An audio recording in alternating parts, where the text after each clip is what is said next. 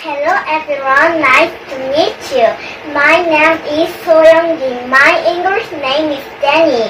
I'm in the third grade of Sodap Elementary School. Today, I'm going to tell you about my dream. Do you all have dreams? One day, I thought about my dream. I want to be a great person in the future. After many times thinking about what job I well, I decided to be an elementary school teacher. I think teacher is a good job. My aunt is a teacher.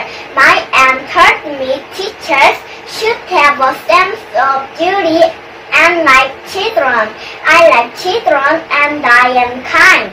So I think I can be a kind and warm teacher to students. To be a teacher, I will study harder than now. I imagine students and me having fun together. You are really excited, aren't you? If you don't have a dream, imagine the future of your from today and have a dream. You will be very happy. Thank you very much for listening.